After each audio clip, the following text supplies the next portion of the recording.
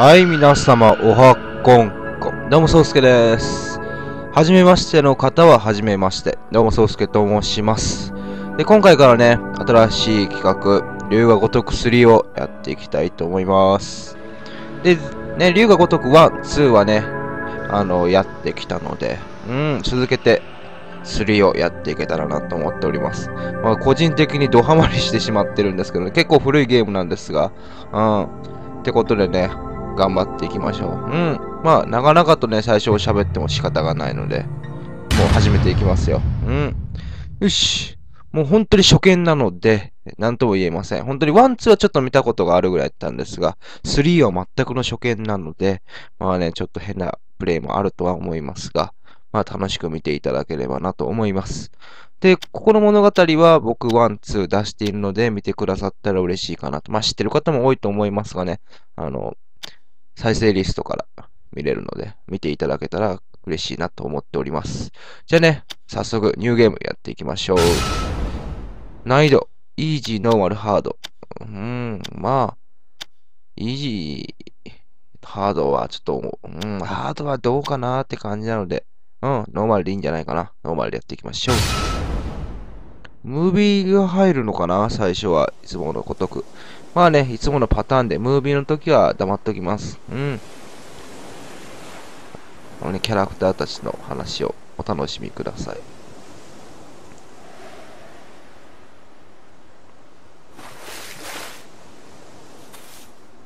おじさん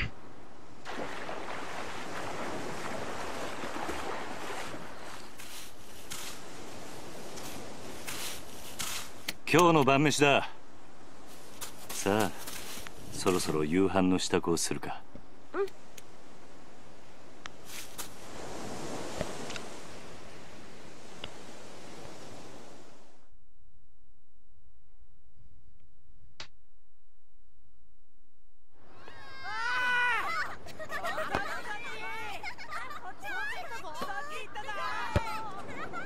さあ夕飯だ。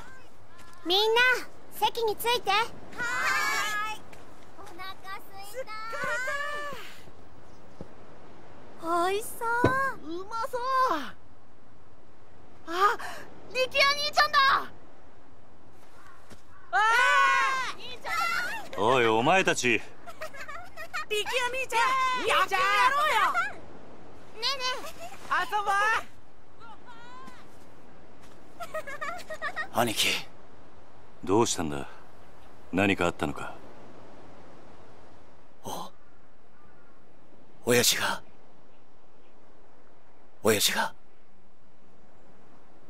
撃たれた。え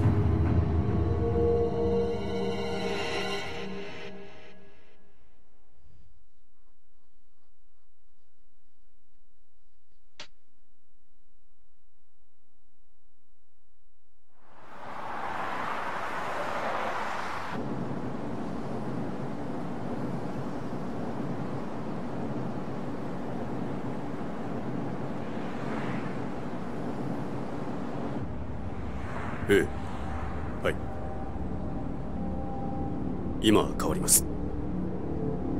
会長お電話です。誰だ？例の計画の件でといえばわかると。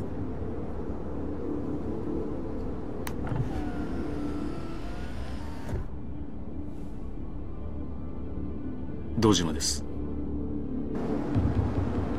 ええ。だからその件に関しては先日お断りしたはずじゃええそうです。この件登場会は一切手引かせてもらいます。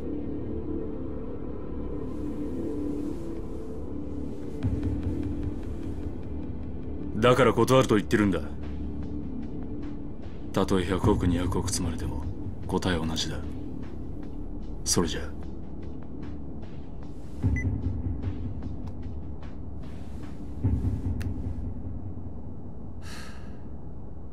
会長。うん。今の電話例の沖縄の一件では。本当に断っていいのでしょうか？どういう意味だ？お言葉ですが今本家は直系白鵬会の上がりでやっていけてる状態です。もしあの沖縄の一件うちが引き受ければこの先10年は食っていけるだけの金が本家になだれ込みます。ざっと見積もって1000億。いやそれ以上の金が。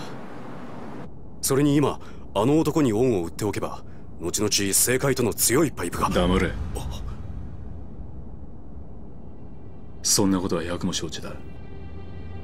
だがあの土地は奪えねえ。四代目の剣ですか？登場界は四代目に何度も救われてきた。その人から居場所を奪うことはできねえ。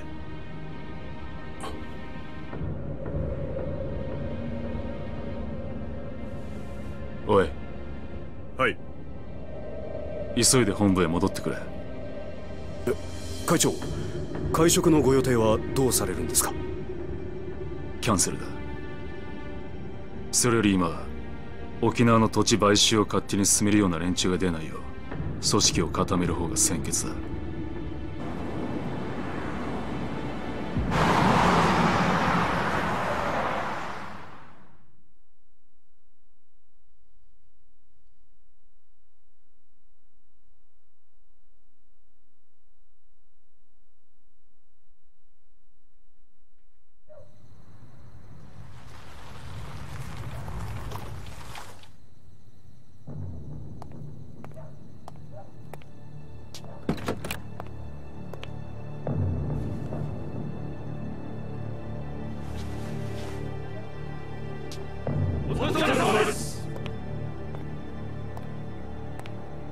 会長。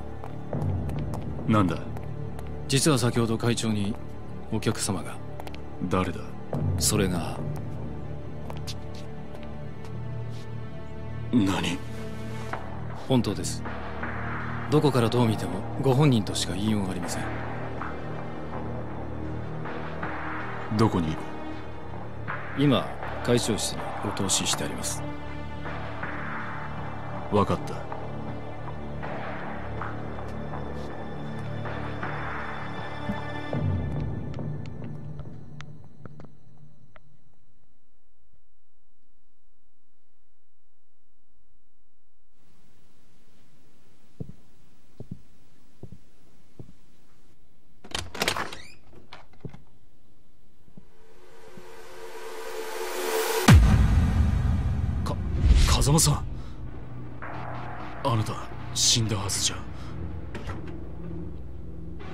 かせましたか？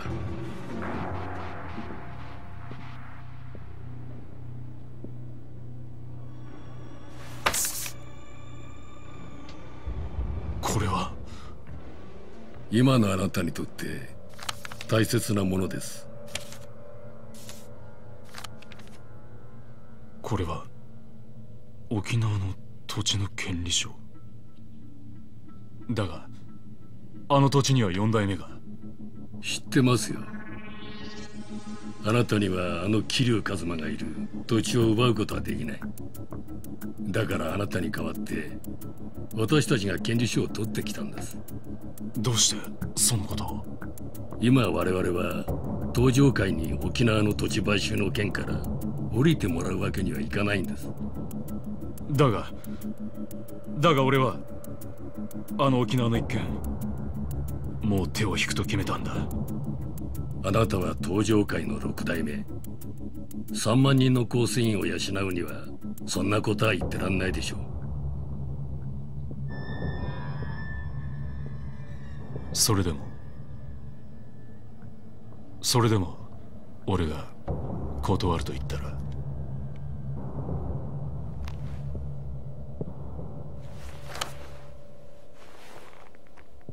それは困りましたね。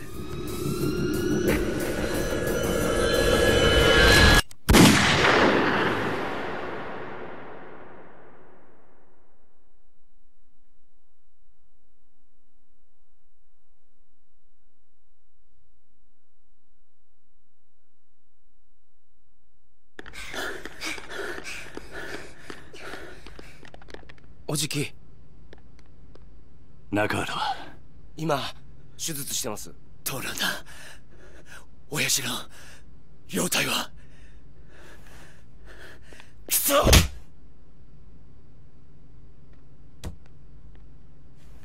さきちゃん怖かったね。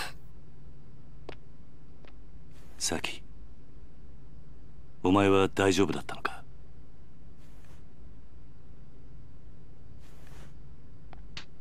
犯人は割れてんのか？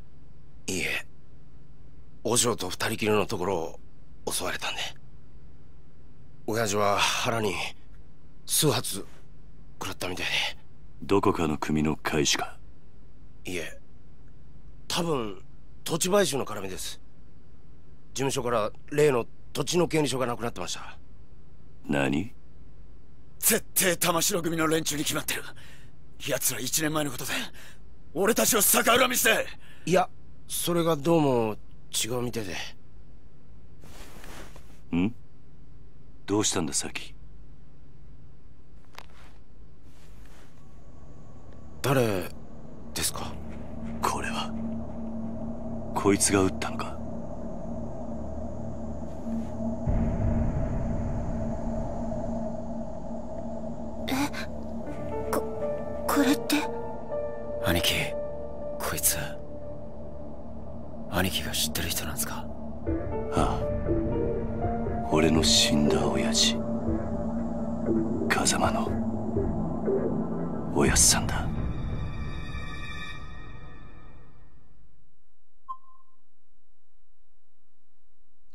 ってことで、えー、まあ続きもやってきますが、なかなかすごいストーリーですね。うん。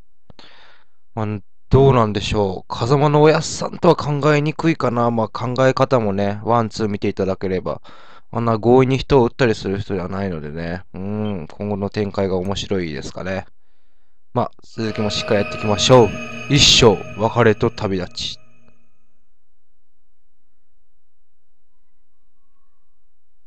ムービー入るのかな？うーん。お、入るみたいですね。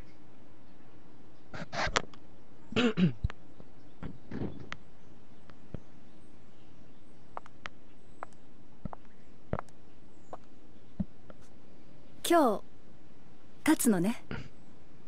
ああ。そう。私もお別れを言いに来たわ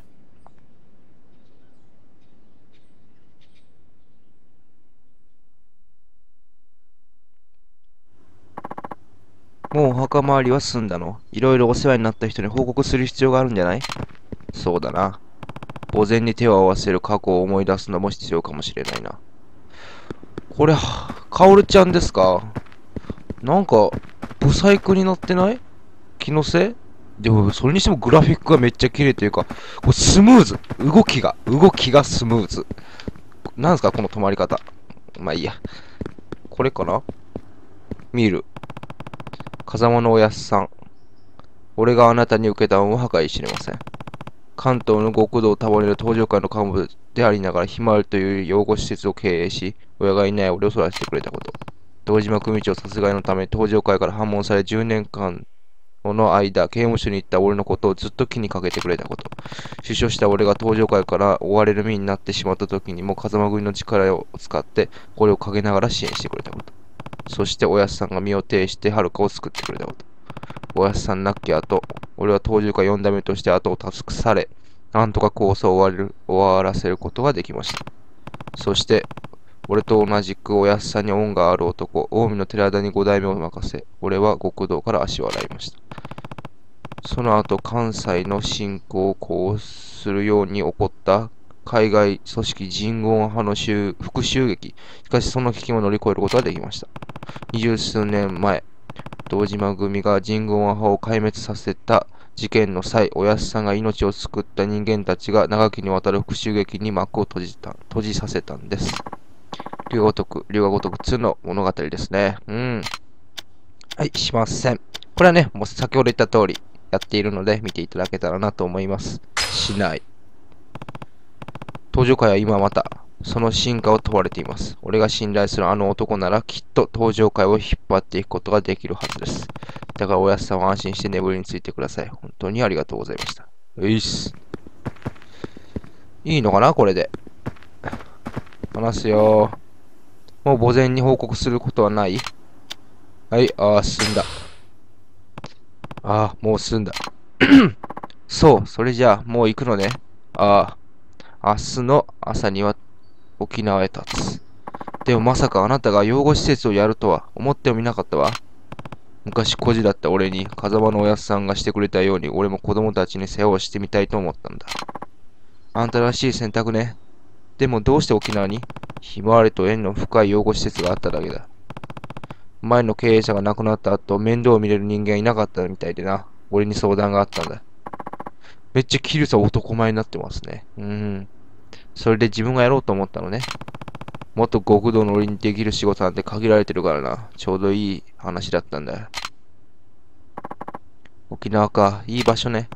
ああ、海の近くだ。お前も暇な時に遊びに来い。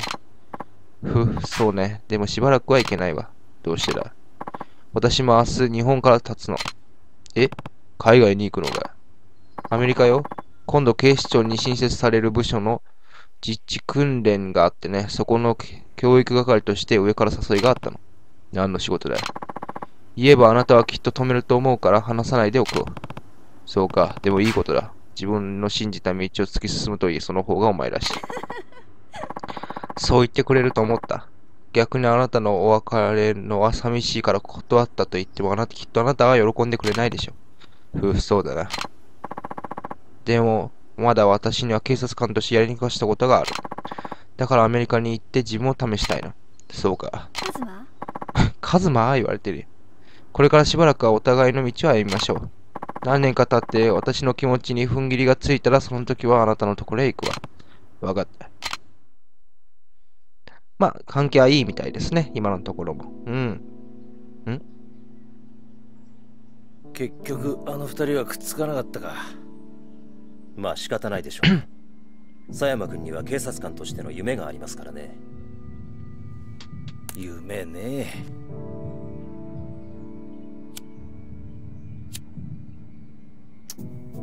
ガス切れか。どうぞ。ああ悪い。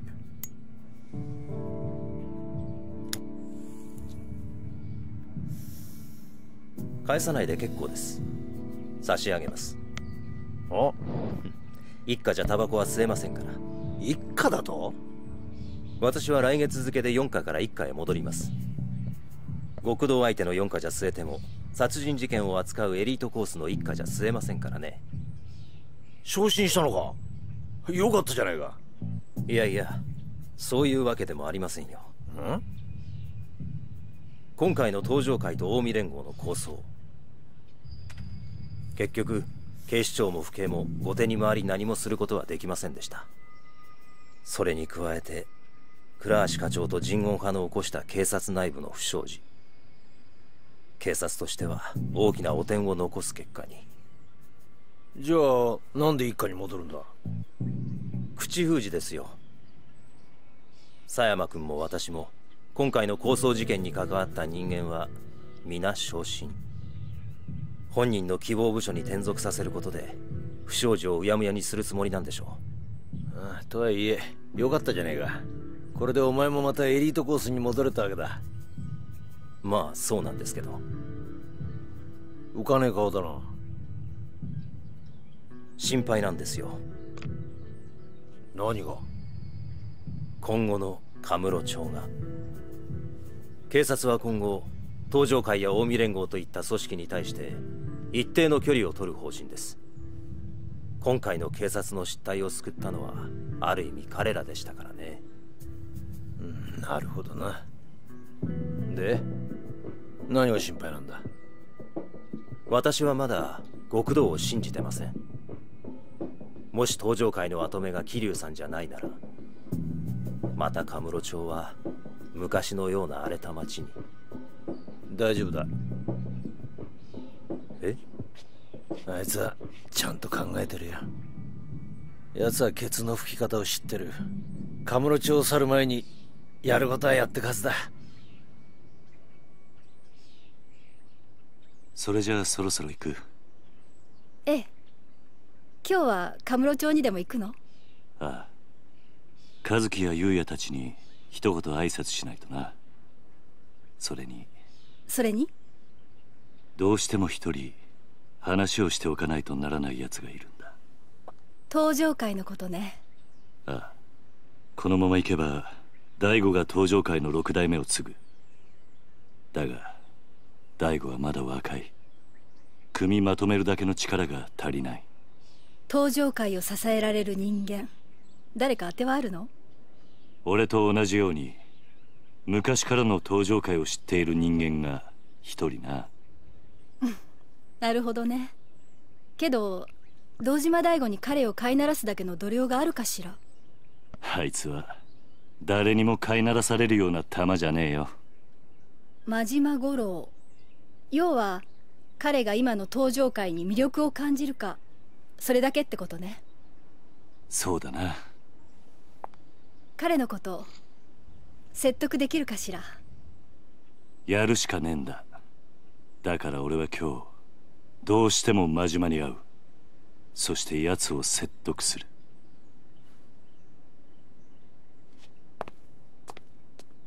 殴り合うような展開にならないといいわね。まあそればっかりは分からんがな。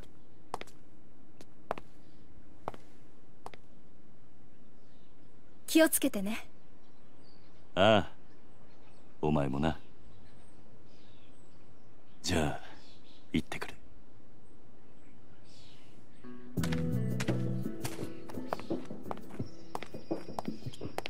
バイバイ。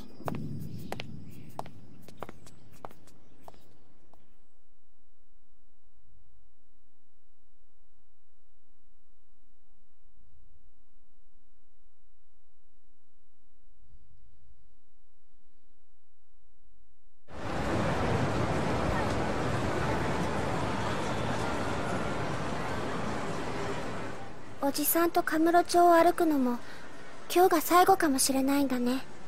そんなことはないさ。またいつでも帰ってこられる。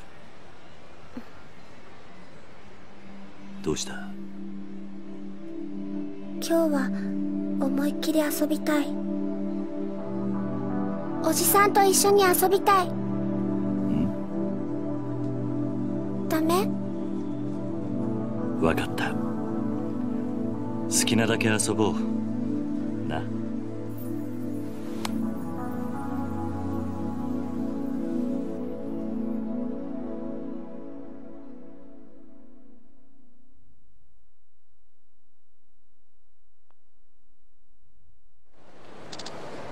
おじさん、ゆうやお兄ちゃんと和樹お兄ちゃんに挨拶しないとね。ああ、そうだな。ここからだとスターダストが近いな。行ってみるかい。よし、じゃあ今回はこれぐらいにして終わりたいと思います。ふお、人多いし、グラフィックでか。ごめんよ、ごめんよ。てか、グラフィックいいなん。お、ピエールおる。でなんか話しかけたら長くなりそうやから今回はここら辺で止めていきたいと思います。見て、この自動販売機のクオリティ、すごいなえー、シシレモン飲みたいなまあいいや。ってことでね、今回これぐらいにして次回やっていきたいと思います。うん。すごくグラフィックが綺麗でね、これからの展開が面白くなっていきそうです。うん。今回はね、そういう物語、最初のオープニングのような物語になっていくのではないかなと思います。それではね、ご視聴ありがとうございました。また次回、パート2見ていただけたらと思います。それではね、ソウスケでした。さようなら。